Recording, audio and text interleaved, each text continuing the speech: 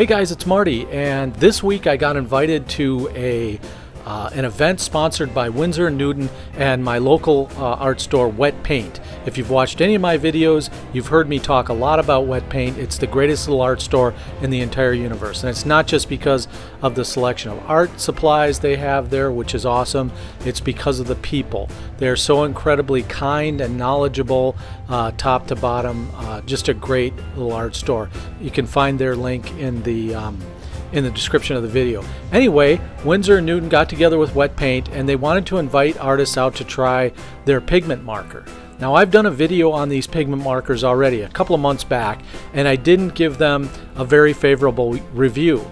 So I wanted to give them a second chance. So I thought about it and I said, yeah, what the heck, I'm going to go to this event because it's really a chance to talk to and and and share with other other artists their thoughts about these markers and I wanted to hear from other people and um, and help maybe uh, that would shape my opinion a little bit, or maybe I was doing something wrong, or maybe I could take a different approach to them. Some of the uh, things that I uh, was criticizing early on, um, one of them was a production issue. The cap, when you put the cap on the marker, um, it could uh, it could scrape the side of the nib and mess it up. Well, they've since corrected that problem, and I got to use one of the new pens and new lids and uh, new caps. It works just great. So uh, Winsor Newton is listening, and I think it's really cool that they have these pop-up events where people can come and just give them feedback. Well, anyway, long story short, I sat down, I used them for about 45 minutes or an hour, and then I got a chance to talk to some of these other artists you see gathered here. And generally speaking, what I heard from them, or the feedback I got, was generally favorable about the marker. I even learned some new techniques by watching what they were doing. Now, that, the artist sitting right there, his name is Stuart Lockridge. He's a local uh, artist here in the Twin Cities and an extraordinary painter, a watercolorist, and he does etchings, which are just fantastic. Matter of fact, I own uh, about half a dozen or more of Stuart's etchings, and uh, they're some of my favorite pieces of artwork in my collection.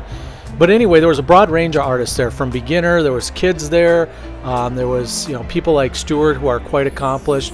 One thing I noticed that they were using that I hadn't used in my review was an uh, colorless blender. I used the white blender when I did my review.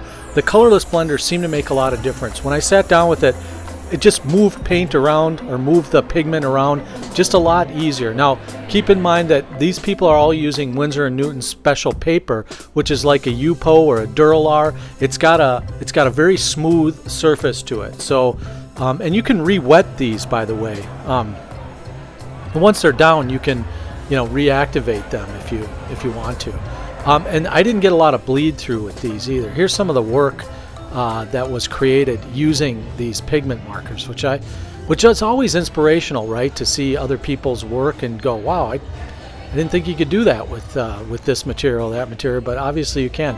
And uh, Winsor Newton was kind enough to have a few swag bags at this event, which came with a couple of different little markers, and they gave those out to people who attended. There's my friend Christina from Wet Paint. She's absolutely awesome.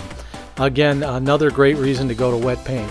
Um, they had a DJ there, which was cool. They served wine, uh, beer, and food. That might have nudged an opinion one way or the other, but generally speaking, people were pretty impressed. Now, here's some of the work uh, that people were able to knock out with these markers, um, which I thought, you know, was pretty cool. I mean, if you look at look at the range of color here and uh, technique, um, it's it's pretty.